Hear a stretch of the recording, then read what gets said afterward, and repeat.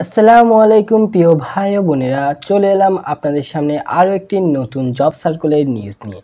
এবং এটি হলো বাংলাদেশ নৌবাহিনীতে বি দুই হাজার একুশ বেছে নৌবাহিনী টেকনিক্যাল শাখায় director anti sailors for dock ward ভর্তি কার্যক্রমে আপনারা কীভাবে আবেদন করবেন, আবেদনের প্রক্রিয়া এবং আবেদনের জন্য প্রয়োজনীয় যোগ্যতা এবং কাগজপত্র কি কি লাগবে সেই বিষয়গুলো নিয়ে আপনাদের সামনে কথা বলতে। চলুন তাহলে দেই না করে আমরা দেখিনি কি কি রয়েছে। সবার প্রথমে আমরা দেখে নিব এখানে যে যোগ্যতা, সেটি কি রয়েছে। এর মধ্যে পদটির নাম হলো M E two M S two EN two এবং R E N two BN ডাকওয়ার্ডের জন্য। এবং এখানে শিক্ষাগত যোগ্যতা মিনিমাম যোগ্যতা লাগবে এসএসসি এবং বিজ্ঞান শাখার হতে হবে অথবা আপনার সরকার অনুমোদিত যে কোনো ট্রেডে ছয় মাসের ট্রেড কোর্সদারি অথবা সংশ্লিষ্ট ট্রেডে এসএসসি ভোকেশনালে ন্যূনতম জিপিএ থ্রি এর অধিকারী হতে হবে এবং এসএসসি হলেও সেটি থ্রি এ পয়েন্টের অধিকারী হতে হবে। এর মধ্যে ক হল machinist diesel mechanics automatics refrigeration and air conditioning welding and fabrication plumbing and pipe fitting and general electrician and electronics যাদের অভিজ্ঞতা সংশ্লিষ্ট চাকরির ক্ষেত্রে রয়েছে, তাদেরকে কিন্তু অগ্রাধিকার বেশি দেওয়া হবে। এর মধ্যে হলো বয়স, পয়লা জুলাই দুই হাজার একুশের তারিখে আপনার বয়স হতে হবে সতেরো থেকে পঁচিশ বছরের মধ্যেই। এবং বৈবাহিক অবস্থা যারা বিবাহিত তারাও পারবেন এবং অবিবাহিত যারা তারাও পারবেন। এবং বাংলাদেশি পুরুষ নাগরিক হতে হবে। এখানে মহিলাদের জন্য সুযোগ নেই বলা যায়। তো মহিলারা আবেদন করতে পারবেন না।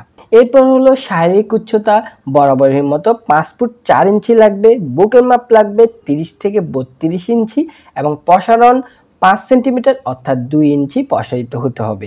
এবং ওজন, বয়স এবং উচ্চতা অনুযায়ী বিএমআই এর যে স্কেল রয়েছে, সেটির যে আদর্শ স্কেল তার মধ্যে থাকতে হবে এবং চোখের দৃষ্টি ছয় বাই ছয় থাকতে হবে। এছাড়া আপনি যদি কোনো কারণে মামলায় অভিযুক্ত হন এবং সশস্ত্র বাহিনী এবং সরকারি চাকরি থেকে যদি বহিষ্কৃত হন, তাহলে আপনি অযোগ্য হিসেবে গণ্য হবেন। এরপর হলো প্রয়োজনীয় কাগজপত্র কি কি লাগবে তা একটু দেখে নেওয়া যাক। এর মধ্যে শিক্ষাগত যোগ্যতা যে সনদপত্র সেটি লাগবে এবং অবশ্যই সাময়িক সনদপত্র এবং এবং প্রথম শ্রেণির গ্রেজেট অফিসার কর্তৃক সত্যায়িত সনদপত্র লাগবে এবং মূল মার্কশিট এবং সেটিও সত্যায়িত হতে হবে প্রথম শ্রেণি গেজেটের যে অফিসার কর্তৃক। এবং কোনো কারণে যারা মূল সনদপত্র দিতে পারবেন না, তাদের ভর্তি হওয়ার সময় অবশ্যই যে সত্যায়িত কপি রয়েছে সেটি দিলেও হবে। তবে খুলনাস্থ যে প্রশিক্ষণ কেন্দ্র রয়েছে, সেখানে বনজ তৃতীয় যোগদানের সময় অবশ্যই মূল কপি আপনাদেরকে জমা দিতে হবে। এরপর রয়েছে ট্রেড কোর্সের সনদপত্রের মূল কপি যা ট্রেড কোর্স করেছেন এবং চাকরির অভিজ্ঞতা যাদের রয়েছে, তাদের সেই সেই প্রতিষ্ঠানে কর্তৃক স্বাক্ষরিত একটি সনদপত্র লাগবে। এরপরে নাগরিকত্ব সার্টিফিকেট অর্থাৎ চারিত্রিক সনদপত্র লাগবে। প্রথমত আপনার এনআইডি কার্ড লাগবে এবং ইউনিয়ন পরিষদ কর্তৃক চেয়ারম্যান সার্টিফিকেট যেটি, সেটি লাগবে এবং বৈবাহিক মর্যাদা এবং স্থায়ী বাসস্থানের উল্লেখ থাকা অবস্থায় জাতীয় এবং চরিত্রগত সনদপত্র লাগবে।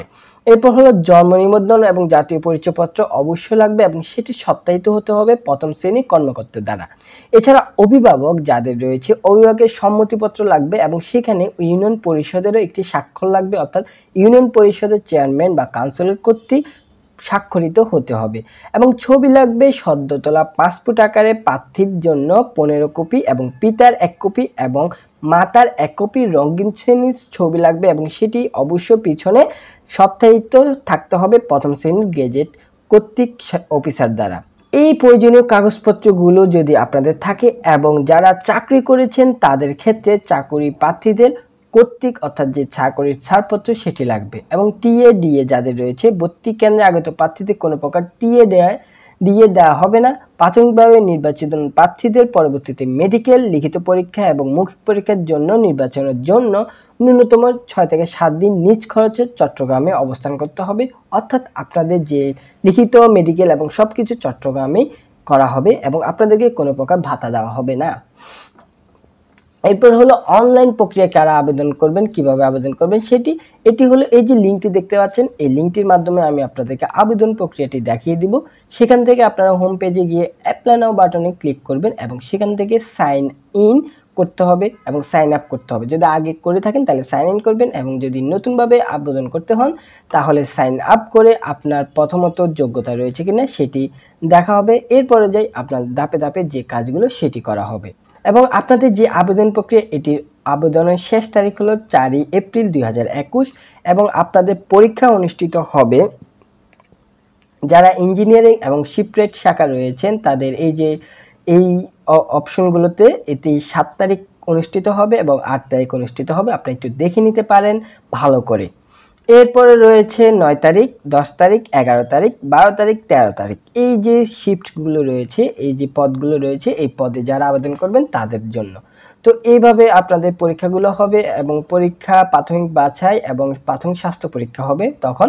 এরপরে হলো এখানে নয় তারিখ থেকে লিখিত পরীক্ষা হবে এবং দশ তারিখে চূড়ান্ত স্বাস্থ্য পরীক্ষা হবে এবং মৌখিক পরীক্ষা হবে। তো এই প্রক্রিয়াগুলোর জন্য আপনাদেরকে নিজ খরচে ছয় থেকে সাত দিন চট্টগ্রামে অবস্থান করতে হবে। তো চলুন তাহলে আমরা আবেদন প্রক্রিয়াটি কীভাবে আবেদন করবেন, সেই আবেদন প্রক্রিয়াটি আমরা একটু দেখে নিই হাতে কলমে। দেখুন Bangla join navy dot mil dot BD এই ওয়েবসাইটটিতে আসলে আপনারা এখানে দেখতে পাবেন অফিসার এবং সেলার দুটি পদ। তো আপনারা যে বেসটিতে আপনারা অ্যাপ্লাই নাও বাটনে ক্লিক করবেন, এছাড়া এখানে ডিটেলস জানতে হলে এখানে ক্লিক করবেন।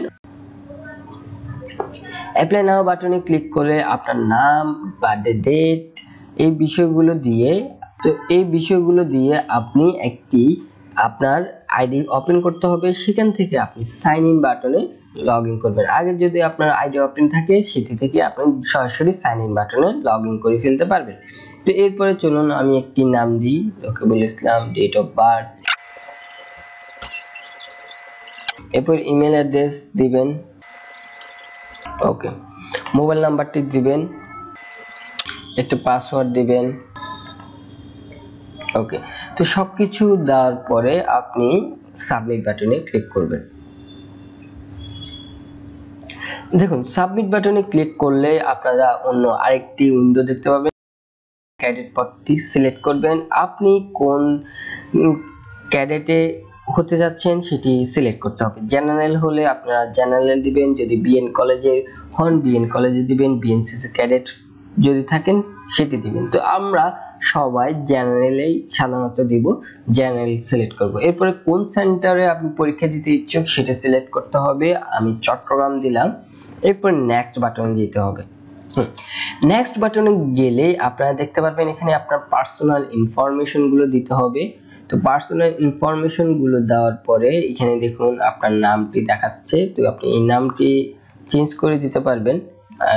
অর্থাৎ আপনার সঠিক নাম যেটি সেটিও দিতে পারবেন। তো আমি দিলাম এটি রাখলাম।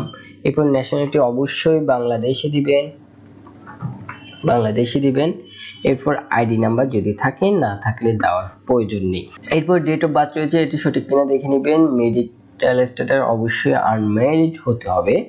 এরপর প্লেস অফ বার্থ দেবেন, যেখানে আপনার জন্ম, সেখানে হাইট দিবেন পাসপোর্ট যে চার ইঞ্চের কথা বলা হয়েছে, সেটি অবশ্যই সেন্টিমিটারে ক্যালকুলেট করে দেবেন। তো আমি একটু ফুট টু দেখুন, এছাড়া আপনারা গুগলে ফুট টু সেন্টিমিটার যদি আপনারা টাইপ করেন, তাহলে দেখবেন এখানে চলে আসছে ফুট টু সেন্টিমিটার অপশনটি। দেখুন, এখানে আপনার কত ফুট, কত ইঞ্চি সেটি আপনি দিবেন। পাঁচ ফুট, ধরেন আমি দিলাম ছয় ইঞ্চি, এখানে একশো সত্তর সেন্টিমিটার। তো আপনি একশো সত্তর যেটি এটি কপি করে, তো আপনি এটি কপি করে এখানে দিয়ে দিবেন, এরপর ওয়েট কত কেজি সেটি দিবেন। এরপরে জেন্ডার অবশ্যই মেল না ফিমেল সেটি রিলিজিয়ান সিলেক্ট করে দিবেন।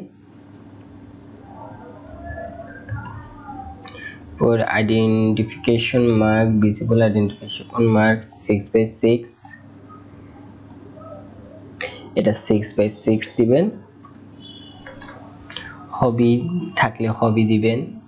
এরপরে কোনো খেলায় যদি আপনি পারদর্শী হন, সেটি দিবেন। দিবেন। ইমেল অ্যাড্রেসটি রয়েছে চেস্ট দিবেন নর্মালে যেটি বলা রয়েছে, সেটি বত্রিশ আমি এখানে একাশি দিলাম। এরপর ফ্রিডম ফাইটার কোটা যদি থাকে, তাহলে হ্যাঁ দিবেন, না থাকলে না দিবেন। তো এই প্রক্রিয়াগুলো শেষ হওয়ার পরে আপনারা দেখতে পারবেন প্রেজেন্ট অ্যাড্রেস পার্মানেন্ট অ্যাড্রেস এগুলো দেওয়া রয়েছে। তো প্রেজেন্ট অ্যাড্রেস দিয়ে দিবেন।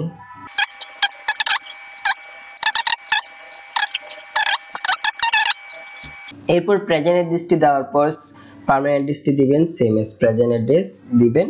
একই হয়, তাহলে সেম এস প্রেজেন্ট অ্যাড্রেস দিবেন পার্মানেন্ট অ্যাড্রেসের সাথে মিল রেখে। আর যদি না হয়, তাহলে সেটি দিবেন।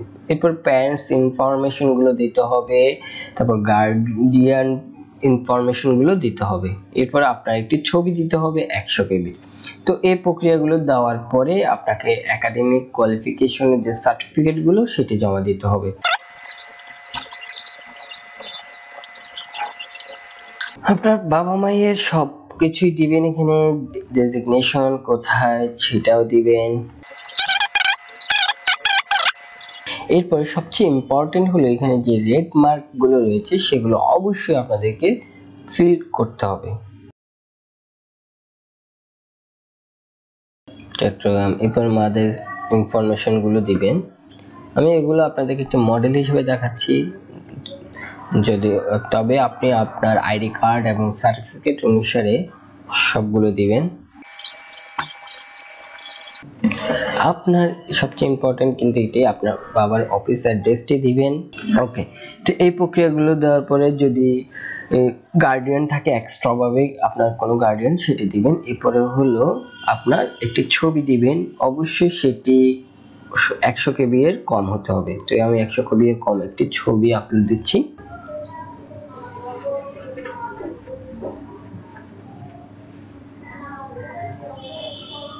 ওকে। আপনার সব কিছু দেওয়ার পরে, এখানে সব কিছু দেওয়ার পরে, এখানে নেক্সট বাটনে ক্লিক করবেন। ওকে। তো আপনার পার্সোনাল ইনফরমেশনগুলো যদি পারফেক্টলি হয়, তখন আপনার এডুকেশন কোয়ালিফিকেশনগুলো দিতে হবে। পিএসসি প্রথমে দিবেন। যদি পিএসসি থাকে পিএসসি দিবেন। রেজাল্ট কি পেয়েছেন সেটি দিবেন। এরপরে হলো জেএসসি যদি থাকে জেএসসি দিবেন, স্কুলের নাম দিবেন একাডেমিক ইয়ার দিবেন। এরপর হলো ও লেভেল এ লেভেল এগুলো সবগুলো দিবেন। এসএসসি হলে এসএসসি ও লেভেল হলে ও লেভেল এসএসসি দিলেন সায়েন্স এরপর হলো জিপিএ কত পেয়েছেন? ফাইভ পেয়েছেন কিনা? বা সবগুলো দিবেন। অবশ্যই জিপিএ ফোর পয়েন্ট ফাইভের উপরে থাকতে হবে। পাসিং ইয়ার এরপরে মার্ক ইন ম্যাথ দিবেন, এরপরে হলো ফিজিক্স ওকে এরপরে do you have math in physics yes দিবেন। এ প্লাস অল সাবজেক্ট ইয়ে যদি হ্যাঁ হয় ইয়েস দিবেন। এরপরে এইচএসসিটাও দিবেন একইভাবে।